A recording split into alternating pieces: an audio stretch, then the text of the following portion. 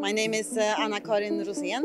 I am the managing director of Saab Limited, which is uh, Saab's local entity uh, in the UAE for development and uh, manufacturing. We started the company in uh, 2018 with the good help of uh, Tawazun and, and also the local authorities here. We're focusing on developing new products and, and they are fully developed uh, in the UAE. We don't transfer technology, we, we create it here. Our first areas of interest is sensor technology and then telecommunications. And that's why we're here today. The product name is DeployNet, and it is a uh, mobile deployable telecommunications network. And then I will let Matthias tell you the details about it. But uh, we're very proud to be able to launch a locally developed product. My name is Matthias Källström.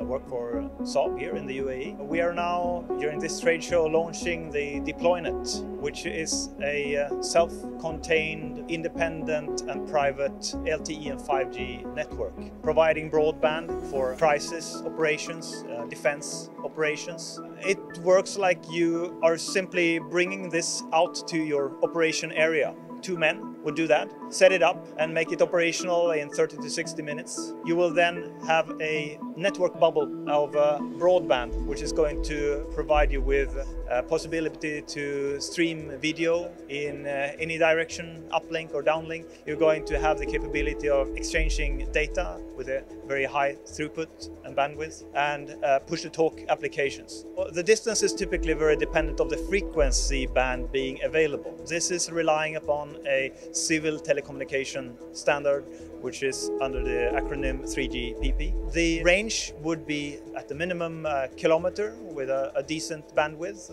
and up to tens kilometers. So we're enhancing the uh, security features with regards to cyber of the system, which is traditionally not maybe there for a equivalent civil kind of networks. We're providing an end-to-end -end solution, meaning that it's from the device through the whole network to the other device, as well as we are doing enhancements with regards to the resilience of the network in order to mitigate risks of somebody taking down the existence of the network bubble, so to say.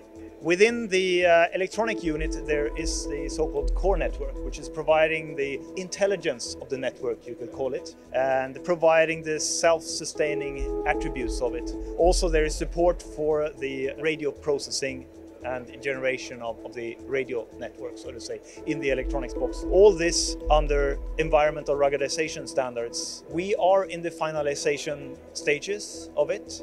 We are running a project which is uh, in an iterative stage. We have the first baseline here. We will do enhancements in the future, such as, for example, integrating applications, command and control, and that kind of uh, application support, push to talk, and so on. But uh, with regards to what you see here, is something that is operational. There are no limitations that we set to this. There are many different applications for it, anything from defense, training, logistic operations, to disaster relief, earthquakes, forest fires. I think this is a state-of-the-art system that is providing a fantastic capability. It is a uh, capability that is resolving uh, many of the issues of uh, a limited bandwidth in an operational area for a crisis.